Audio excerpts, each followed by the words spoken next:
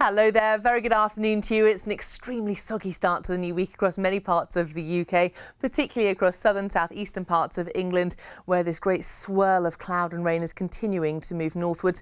We've also got this little finger of cloud and rain clearing away from northern, northeastern parts of Scotland, so rain for you as well. But as you can see, we are going to be seeing the best conditions out across the northern, northwestern areas, where for you it's quite nice.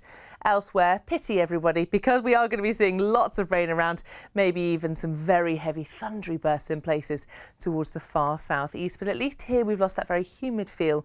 Temperatures reached 31 degrees for some at the weekend. Today our high is 20 degrees for the west of Scotland. That's it. See you later.